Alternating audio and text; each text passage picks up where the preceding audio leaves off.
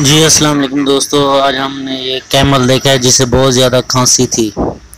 ये ड्रिंचिंग नमूनिया है। कोई चीज़ पिलाने की वजह से इसे खांसी हो गई तो मैंने फार्मर से पूछा तो ये कब खांसता? कहता है, जब ये चारा वगैरह खा ले, बैठा हो तो उस वक्त ना, ये थोड़ा हल्का हल्का खांसी महसूस करता है। उस दौरान इसे यानी कि सांस लेने में भी मुश्किल पेश आती है। तो इसका जो बेस्ट इलाज है वो है पेंसिलिन ग्रुप का कोई अच्छा सा एंटीबायोटिक आपने इस्तेमाल करना है। पेंसिलिन ग्रुप जैसे penicillin procaine penicillin penicillin G वगैरह होगी। टई हाइड्रोस्ट्रेप्टोमाइसिन भी बेस्ट इलाज है इसका। तो ये तकरीबन तीन दिन आपने लगाना है। पहले दिन तीस एम फिर पच्चीस पच्चीस एम आपने इसे लगाना है। इंट्रामस्कुलर गहराई के साथ लॉन्ग नीडल के साथ लगाना है। एहतियात करनी है कि कहीं ये सोजिश ना हो जाए।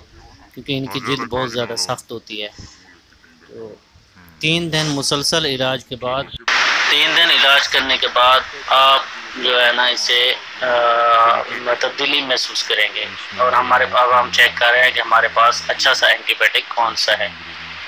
तो जी व्यूवर्स अगर आप हमारे चैनल पर नए हैं तो प्लीज़ हमारे चैनल को सब्सक्राइब कर दें और बेल आइकॉन का बटन दबा दें। हमारे पास इस वक्त जो है वो है रोल स्टेप, ये इंजेक्शन है, रोल स्टेप डीएमजी का।